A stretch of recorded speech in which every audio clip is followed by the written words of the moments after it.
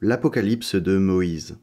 L'histoire d'Adam et Ève, les créations données par Dieu à Moïse et ses servants quand il a reçu les tablettes de la loi de sa main, instruit par l'archange Michael. Que le Seigneur soit béni. Ceci est l'histoire d'Adam et d'Ève après qu'ils soient sortis du paradis. Adam prit son épouse, et ils allèrent à l'est, et demeurèrent là dix-huit années et deux mois. Ève conçut et mit au monde deux fils, Adiophotos, qui est appelé Cain, et Amilabès, qui est appelé Abel. Et après ceci, Adam et Ève étaient ensemble et dormaient, et Ève dit à Adam, son Seigneur, Mon Seigneur, Adam, écoute, j'ai vu dans un rêve cette nuit, le sang de mon fils Amilabès, qui est nommé Abel, était dans la bouche de Cain, son frère, et il continuait à lui boire sans pitié, mais il le suppliait de le laisser. Pourtant, il ne l'a pas écouté, mais a tout englouti. Rien n'est resté dans son estomac, tout est ressorti de sa bouche. Et Adam dit Lèvons-nous et partons voir ce qui est arrivé. J'ai peur que l'adversité puisse les assaillir quelque part. Et ils sont allés trouver Abel assassiné par la main de Caïn, son frère. Et Dieu dit à l'archange Michael Dis à Adam, ne révèle de mystère à Caïn, parce qu'il est un fils de colère, mais fais en sorte de ne pas être triste, parce que moi, je te donnerai à un autre fils au lieu de lui. Et il vous montrera tous ce que vous aurez à faire. Ne lui dites rien. C'est ainsi que Dieu a parlé à son archange. Et Adam est resté muet dans son cœur, et Ève avec lui de la même façon, bien qu'ils aient été tristes au sujet d'Abel, leur fils. Et après, Adam connut Ève son épouse, et elle conçut et mit au monde Seth. Et Adam dit à Ève, Vois, nous avons engendré un fils à la place d'Abel, que Caïn a tué, qu'on nous laisse rendre gloire et faire des sacrifices Dieu. Et Adam procréa trente fils et trente filles. Adam vécut neuf cent trente ans. Il tomba malade et pleura bruyamment et dit Laissez tous mes fils venir à moi, que je puisse les voir avant que je meure. Et tous se réunirent, puisque la terre était divisée en trois parties. Et Seth, son fils, lui dit Mon père, Adam, quelle est votre douleur? Et il dit Mes enfants, je suis écrasé par la charge de la douleur. Et ils lui répondirent Qu'est-ce que c'est que la douleur? Qu'est-ce que c'est que la maladie? Et Seth répondit Vous vous rappelez, Père, le fruit du paradis dont vous aviez l'habitude de manger et qui vous a fait devenir triste par la convoitise? Si c'est cela, dites-le moi, et j'irai vous apporter des fruits du paradis. Je me mettrai du fumier sur la tête, et je pleurerai, et prierai que le Seigneur m'écoute et m'envoie son ange, et m'apporte du fruit du paradis, et je vous l'emmènerai, que votre douleur puisse cesser.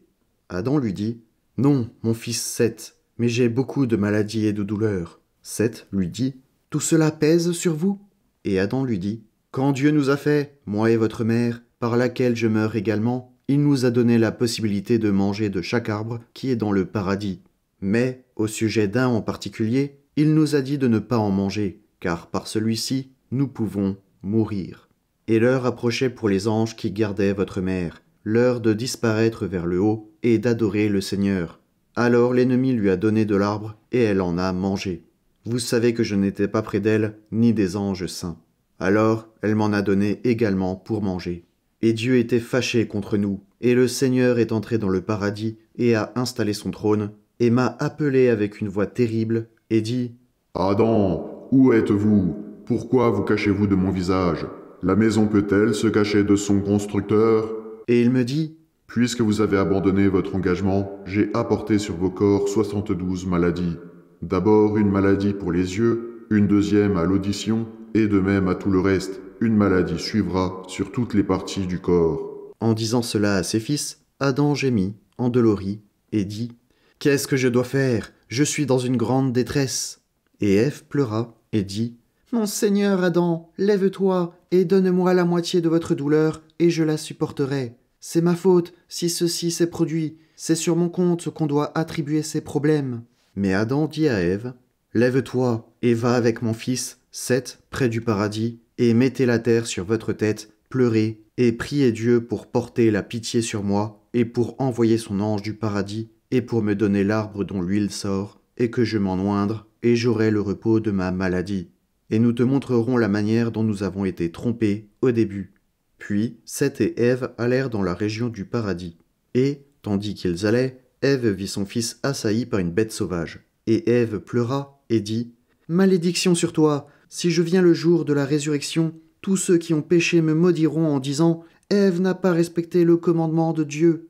Et elle parla à la bête Toi, bête mauvaise, ne crains-tu pas de combattre l'image de Dieu? Comment ta bouche peut-elle être ouverte? Comment tes dents ont-elles été rendues si fortes? Comment as-tu évité ta soumission? Il y a bien longtemps, tu as été faite à l'image de Dieu. Alors la bête pleura et dit Ce n'est pas mon souci, Ève, ton avidité et tes pleurs, mais c'est ton problème, car c'est par toi qu'une règle des bêtes s'est créée. Comment ta bouche s'est-elle ouverte pour manger de l'arbre dont Dieu vous avait commandé de ne pas manger? À cause de cela, ma nature également a été transformée. Maintenant, tu ne peux pas supporter que je commence à te réprimander. Alors Seth parla à la bête. Ferme ta bouche et sois silencieux, et éloigne-toi de l'image de Dieu jusqu'au jour du jugement. Alors la bête dit à Seth. Voyez, je me ferme à l'image de Dieu. Et la bête s'est sauvée, le laissant blessé et réfugié dans sa hutte. Et Seth et Ève arrivèrent près du paradis, et ils pleuraient et priaient Dieu pour qu'ils envoient un ange et leur donne l'huile de la pitié. Et Dieu envoya l'archange Michael, qui dit à Seth Seth, homme de Dieu, ne te couvre pas avec des prières et des supplications au sujet de l'arbre qui produit de l'huile, en vue d'oindre ton père, Adam. Pour lui, ce n'est pas le moment maintenant, mais ce le sera à la fin des temps. Alors, toute la chair issue d'Adam jusqu'à ce jour splendide connaîtra la résurrection.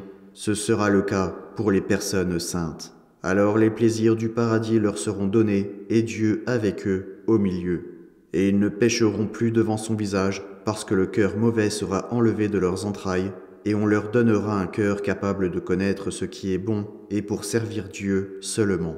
Mais retourne à ton Père, puisque le terme de sa vie sera échu d'ici trois jours, et quand son âme sortira, vous verrez sa montée impressionnante.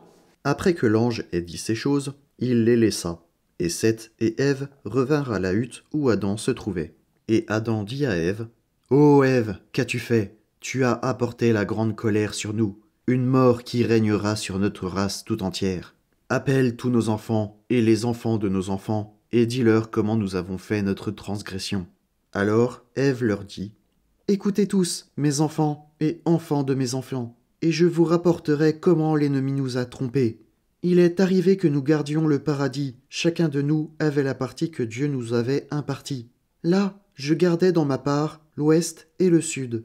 Mais le diable est allé à la parcelle d'Adam, où se trouvaient les créatures masculines.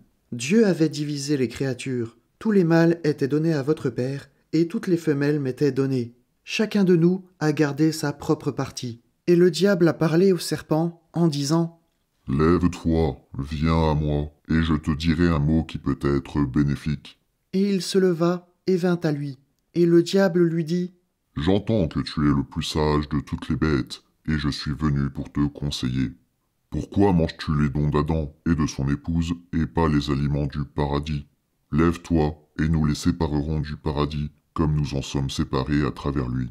Le serpent lui dit Je crains de peur que le Seigneur ne soit en colère contre moi. Le diable lui dit N'aie crainte, sois seulement comme mon véhicule, et je parlerai à travers ta bouche pour les tromper. Et immédiatement, il s'est accroché du mur du paradis, et quand les anges sont montés pour adorer Dieu, alors Satan est apparu sous forme d'ange et a chanté des hymnes comme les anges. Et il s'est penché au-dessus du mur, et je l'ai vu comme un ange. Et il m'a dit Êtes-vous Ève? Et je lui ai dit Je le suis. Et il m'a dit quel art est le vôtre dans le paradis? Et j'ai dit, Dieu nous a placés pour monter la garde et pour manger de ce jardin. Le diable répondit par la bouche du serpent. Vous faites bien, mais vous ne mangez pas de chaque plante. Et j'ai dit, Vois, nous mangeons de tout, nous épargnons une seule plante seulement, celle du milieu du paradis, celle dont Dieu nous a chargés de ne pas manger, parce que nous pourrions mourir de la vraie mort. Alors le serpent me dit, Que Dieu m'en soit témoin. Je suis affligé de votre sort, vous qui êtes comme les animaux, parce que je ne peux vous laisser dans l'ignorance. Mais levez-vous, venez ici, écoutez-moi, mangez et percevez la valeur de cet arbre. Mais je lui dis, je crains, j'ai peur que Dieu soit fâché avec moi, comme il nous a prévenus. Et il m'a dit, N'ayez crainte, parce que dès que vous aurez mangé de lui, vous serez comme des dieux, et vous saurez ce qui est bon et ce qui est mauvais. Mais Dieu sait que vous serez comme lui, ainsi, il vous envie, et a dit, Vous n'en mangerez pas, mais donnez de l'attention à la plante, et vous verrez sa grande gloire. J'ai donné l'attention à la plante, et j'ai vu sa grande gloire. Je lui ai dit qu'elle était agréable aux yeux. Pourtant, j'ai eu peur de prendre du fruit, et il m'a dit Venez, et je vous en donnerai. Suivez-moi. Et moi je lui ai ouvert la porte, et il est entré dans le paradis, et il est venu devant moi. Il a fait quelques pas, puis s'est tourné, et m'a dit J'ai changé d'avis, et je ne vous donnerai pas à manger. Ces choses, il les a dites pour mieux me piéger à la fin, et il me dit Si vous me jurez que vous en donnerez également à votre mari. Et j'ai dit Je ne sais pas quelle sorte de serment je devrais vous jurer. Pourtant, ce que je sais, je vous le dis. Par le trône du Maître et par les chérubins et l'arbre de la vie, j'en donnerai également à mon mari pour manger. Et quand il avait reçu mon serment, il est venu, est entré, et a placé sur le fruit le poison de la méchanceté, qui est le désir de toute chose, parce que c'est le début de chaque péché. Et il a plié la branche vers la terre, et j'ai pris du fruit, et j'en ai mangé.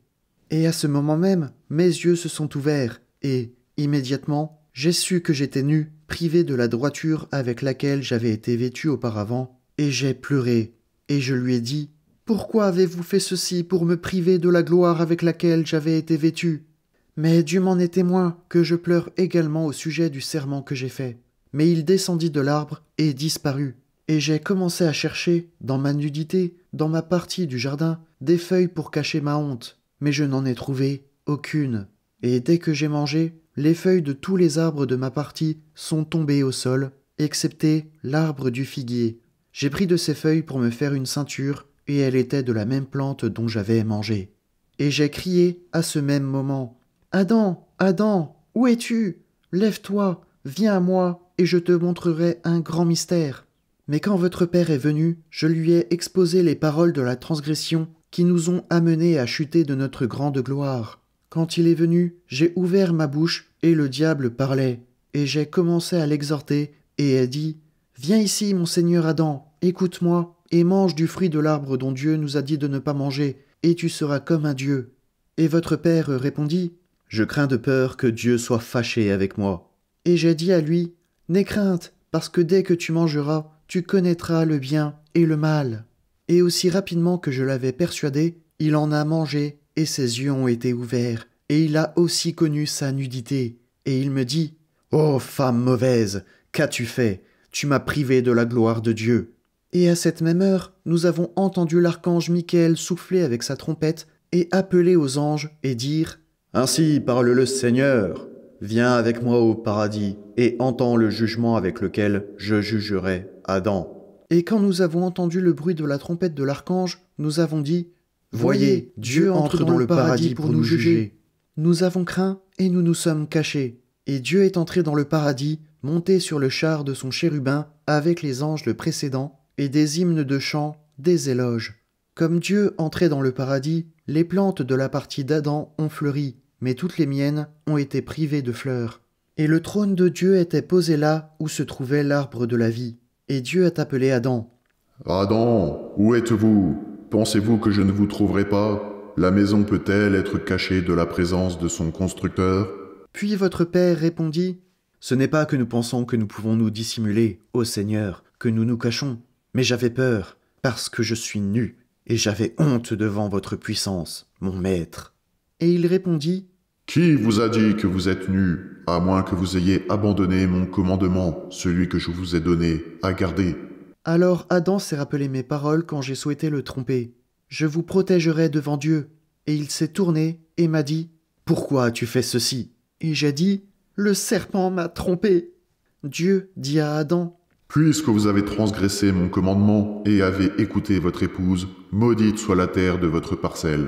Vous la travaillerez et elle ne donnera pas sa force. Épines et chardons prendront naissance pour vous, et c'est dans la sueur de votre visage que vous mangerez votre pain. Vous serez dans des labeurs divers et vous ne vous reposerez pas. Vous serez écrasé par l'amertume, mais la douceur, vous ne la goûterez pas. Vous serez écrasé des labeurs et contraint par le froid. Vous lutterez considérablement et ne deviendrez pas riche, et vous vieillirez, et cela n'aura pas de fin. Les bêtes que vous avez commandées se lèveront dans la rébellion contre vous, vous qui n'avez pas gardé mon commandement.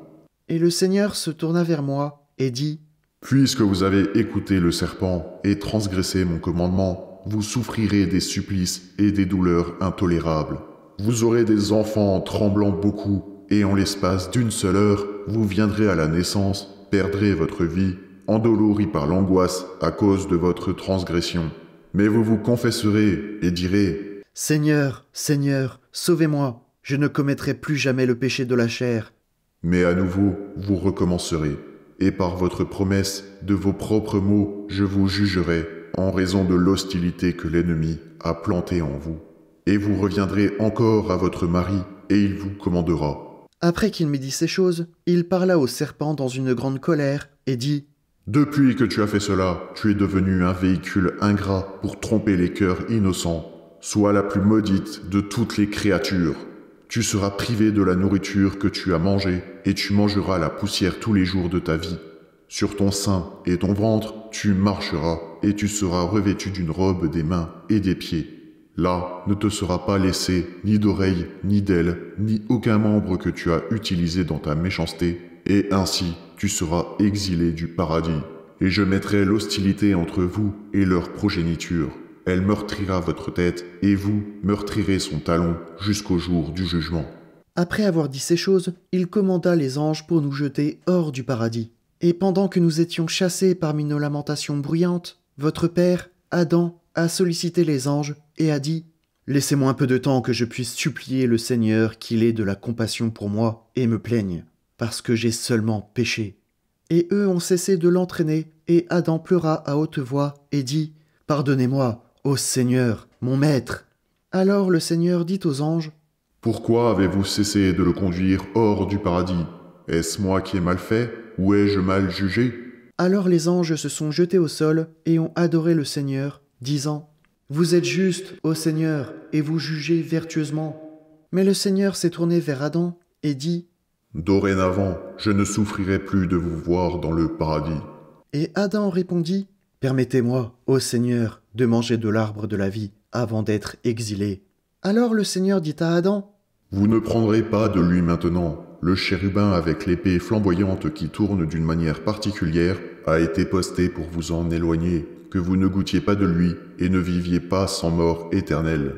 Vous avez en vous la guerre que l'adversaire y a placée. Pourtant, quand vous êtes sortis du paradis, si vous vous gardez de tout mal en souhaitant rester mortel, quand encore l'heure de la résurrection sera revenue pour tous, je vous ferai lever, et alors on vous donnera de l'arbre de la vie, et vous serez morts pour l'éternité.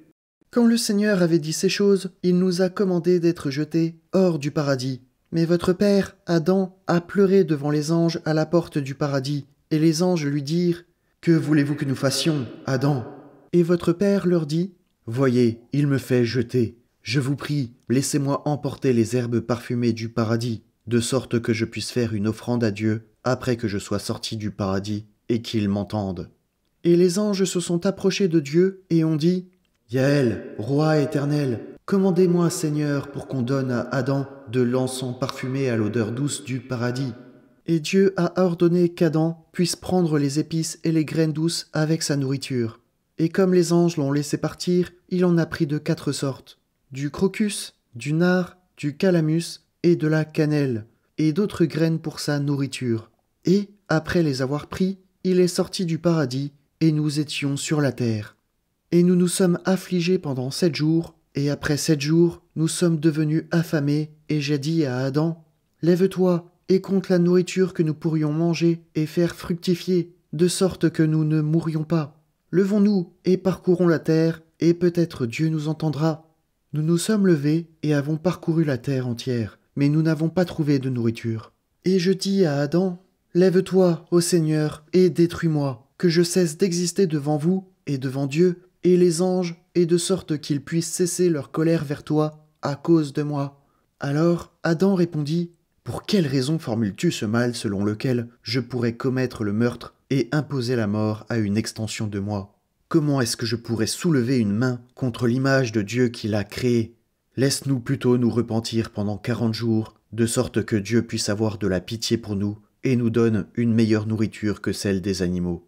Je ferai quarante jours de pénitence tandis que tu en feras trente-quatre. puisque tu as été faite le sixième jour où Dieu a fait sa création. Lève-toi, va au fleuve Tigre, et prends une pierre, mets-la sous tes pieds, et tiens-toi là, couverte dans l'eau jusqu'au cou, et ne laisse pas un mot venir de ta bouche, car nous ne sommes pas dignes, et nos lèvres sont malpropres. Adam est allé au fleuve Jourdain, et les cheveux de sa tête étaient démêlés alors qu'il priait dans l'eau, et il pleurait bruyamment. Je dis aux eaux du Jourdain de se tenir immobiles et de prier avec moi, et même toutes les bêtes, tous les animaux, et tous ceux qui rampent sur la terre et la mer. Et tous les anges et toutes les choses faites par Dieu ont entouré Adam comme un mur autour de lui, et ont pleuré tout en priant Dieu au nom d'Adam, de sorte que Dieu puisse l'écouter. Mais le diable, ne trouvant pas un endroit où trouver Adam, est venu à moi au fleuve Tigre, et, assumant la forme d'un ange, il s'est tenu devant moi en pleurant, et ses larmes ont coulé sur la terre. Et il a dit à moi Sors de l'eau et cesse tes pleurs, parce que Dieu a entendu ta demande, parce que même nous, les anges, et toutes les choses faites par lui, nous avons sollicité Dieu en votre nom. Et en disant ces choses, l'ennemi m'a trompé une deuxième fois, et je suis sorti de l'eau. Eh bien, mes enfants, je vous ai montré la manière dont nous avons été trompés, et gardez-vous de transgresser le bien. Et quand Ève avait dit ceci au beau milieu de ses fils, alors qu'Adam se trouvait malade, et avait un jour de plus à vivre avant que la maladie ne fasse sortir l'âme de son corps. Ève dit à Adam, Comment se fait-il que tu ailles mourir, et combien de temps vais-je vivre après que tu sois mort? Dites-moi. Et Adam lui dit, N'y pense pas, parce que tu ne vivras pas longtemps après moi, mais nous deux allons être appelés à mourir ensemble. Et lui, Dieu, te placera au même endroit que moi. Mais quand je mourrai, enduis-moi, et ne laisse aucun homme ne toucher tant qu'un ange n'aura pas dit quelque chose au sujet de moi. Dieu ne m'oubliera pas, mais cherchera le vaisseau qu'il a fabriqué. Maintenant, lève-toi et prie Dieu jusqu'à ce que j'abandonne mon âme, celle qu'il m'a donnée, dans ses mains. Nous ne savons pas comment nous devons rencontrer notre Créateur, s'il sera fâché avec nous ou s'il fera preuve de pitié pour nous. Et Ève s'est levée et est allée dehors et s'est jetée au sol et dit j'ai péché, ô Dieu, j'ai péché, ô notre Père à tous. J'ai péché contre vos anges élus. J'ai péché contre les chérubins. J'ai péché contre votre trône inamovible. J'ai péché, ô Seigneur. J'ai péché considérablement. J'ai péché devant vous, et tous les péchés ont commencé par mes actes dans la création. Même pendant qu'Ève priait agenouillée, l'ange de l'humanité est venu à elle, l'a fait se relever et lui dit Levez-vous, Ève, arrêtez votre pénitence, et voyez, Adam, votre mari, est sorti de son corps. Levez-vous et voyez son esprit monter pour rencontrer son Créateur. Et Ève s'est levée et a mis sa main sur le visage d'Adam, et l'ange lui dit, Détachez votre main de ce qui vient de la terre. Et elle regarda fixement les cieux, et vit un char de lumière, soutenu par quatre aigles lumineux, et il était impossible pour tout homme né d'une femme de décrire leur gloire de voir les anges face à face précédant le chariot. Et Ève dit Et quand ils sont arrivés à l'endroit où votre père, Adam, se trouvait, le char s'est arrêté, et les séraphins étaient entre le père et le char. Et j'ai vu les encensoirs d'or et trois cuvettes, et j'ai vu tous les anges avec des encensoirs, et de l'encens Dieu a soufflé dessus, et la fumée de l'encens a voilé le firmament. Et les anges sont tombés vers le sol devant Dieu, pleurant à haute voix, et disant Yaël, sainteté, ayez pitié, il est votre image, il est le travail de vos mains saintes. Et alors, moi, Ève, j'ai vu deux grands et mystères effrayants devant la présence de Dieu, et j'ai pleuré de crainte, et j'ai pleuré à haute voix à mon fils, Seth, et j'ai dit Lève-toi, Seth, du corps de ton père Adam, et viens avec moi, et vois un spectacle que l'œil d'aucun homme a encore vu, et comment il supplie au nom de ton père Adam. Alors Seth se leva et vint à sa mère et lui dit Pourquoi pleurez-vous? Et elle lui dit Lève les yeux et vois avec tes yeux les sept cieux ouverts et vois comment le corps de votre père y repose. Et comme tous les anges saints prient pour son compte et disent Pardonnez-le, Père de tout, parce qu'il est à votre image. Prie, mon enfant, Seth. Mais pour quel but? Et un jour sera-t-il accueilli par les mains de notre Dieu invisible? Mais, mon fils, Seth, qui sont les deux Éthiopiens qui se tiennent près du priant autour de votre père? Et Seth dit Ils sont le soleil et la lune, et eux-mêmes mettent genoux au sol et prient au nom de mon père Adam. Ève a indiqué à lui Et où est-elle la lumière? Et pourquoi ont-elles pris un aspect si noir? Et Seth lui a répondu La lumière n'est pas partie d'eux, mais ils ne peuvent pas briller devant la lumière de toute chose, le Père de la lumière, et pour cela, leur lumière a été cachée. Maintenant, alors que Seth disait ceci à sa mère, un ange a soufflé dans une trompette, et tous les anges qui avaient le visage au sol se sont relevés, et ils ont pleuré à haute voix, dans une voix effrayée, et dirent Que soit bénie la gloire de Dieu à travers ses travaux. Il a eu de la pitié pour Adam, la créature faite de ses mains. Mais quand les anges eurent dit ces mots, est venu un séraphin doté de six ailes qui a emporté Adam dans les airs et l'a apporté au lac à Kéroussiane, et l'a lavé trois fois et l'a mené devant Dieu. Et il resta là trois heures, couché, et ensuite le Père de tous, se reposant sur son trône saint, a étendu sa main et a pris Adam pour le remettre à l'archange Michael en disant Porte-le dans le paradis du troisième ciel et laisse-le là jusqu'à ce jour terrible que je ferai dans le monde. Alors Michael a pris Adam et l'a laissé à l'endroit que Dieu lui avait indiqué. Et tous les anges ont chanté un hymne angélique voué au pardon d'Adam. Mais après ces événements joyeux envers Adam, l'archange Michael a supplié le Père au sujet d'Adam.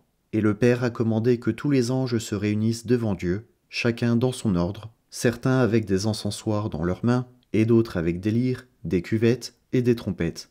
Et là, le Seigneur des servants entra, et quatre vents le portèrent, avec les chérubins montés sur les vents, et, avec les anges du ciel l'escortant, ils vinrent tous sur la terre où était le corps de Dieu. Et ils allèrent au paradis, et toutes les feuilles du paradis furent remuées, si bien que tous les hommes engendrés d'Adam se sont endormis en sentant leur parfum. Sauf Seth, parce que lui seul était né selon l'ordre de Dieu.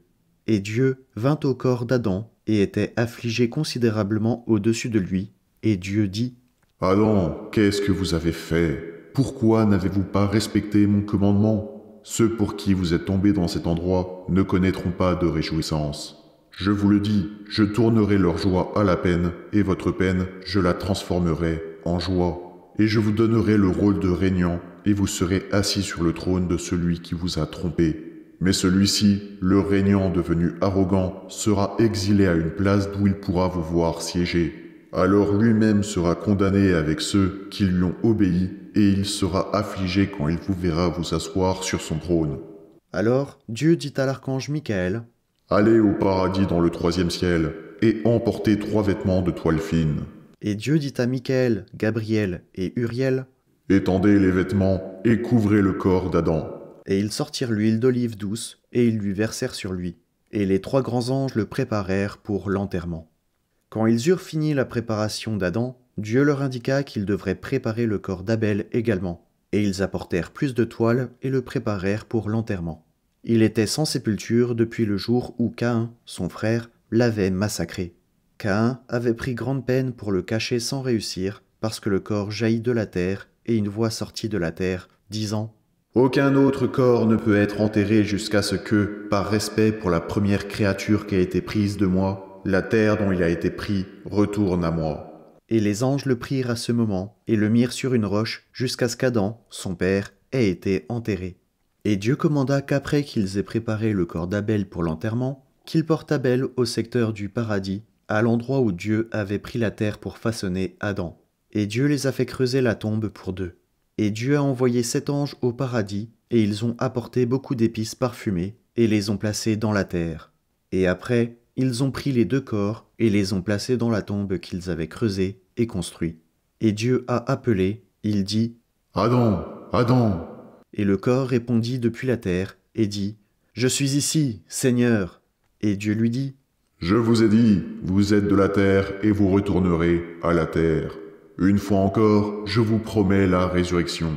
Je vous élèverai dans la résurrection avec chaque homme qui est de votre descendance. Après ces mots, Dieu a fait un saut triple et a scellé la tombe, que personne ne puisse rien lui faire pendant six jours jusqu'à ce que sa femme le suive. Puis le Seigneur et ses anges sont retournés à leur place. Et Ève également, quand les six jours ont été accomplis, est tombée, endormie. Mais tandis qu'elle vivait, elle a pleuré amèrement au sujet d'Adam endormi, parce qu'elle ne savait pas où il reposait. Quand le Seigneur est venu au paradis pour enterrer Adam, tous, sauf Seth, étaient endormis jusqu'à ce qu'ils aient fini l'enterrement d'Adam. et personne n'a su ceci sur la terre, excepté son fils, Seth. Et Ève priait tout en pleurant, en demandant à être enterrée à l'endroit où son mari Adam se trouvait. Et après qu'elle ait fini sa prière, elle dit Seigneur, Maître, Dieu de toute la vertu, ne m'aliénez pas du corps d'Adam, dont vous m'avez fait à partir de ses membres, mais rendez-moi digne, moi qui suis indigne et pécheresse, d'entrer dans son tabernacle, juste comme j'étais avec lui dans le paradis, chacun d'entre nous n'étant pas séparé de l'autre. Juste comme pendant notre transgression, chacun d'entre nous avons été déroutés et avons transgressé votre commande, mais sans être séparés. Alors maintenant, Seigneur, ne nous séparez pas. Mais, après qu'elle ait prié, elle a regardé les cieux dans les hauteurs, et gémit à haute voix, frappa son sein, et dit Dieu de tous, reçois mon esprit. Et elle rendit l'âme. Et Michael est venu enseigner à Seth comment préparer Ève pour l'enterrement. Et là, trois anges sont venus pour porter son corps et l'enterrer où le corps d'Adam et d'Abel se trouvait. Et après, Michael dit à Seth Présentez de cette manière chaque homme qui meurt jusqu'au jour de la résurrection. Et après lui avoir enseigné cette règle, il dit Ne pleurez pas au-delà de six jours, mais le septième jour, reposez-vous et réjouissez-vous, parce que ce même jour, Dieu et nous, les anges, nous nous réjouissons avec l'âme juste qui est passée à partir de la terre. Après que l'ange a parlé, il est monté dans le ciel, glorifiant Dieu et indiquant Alléluia Saint, Saint est le Seigneur, à la gloire de Dieu le Père. Amen.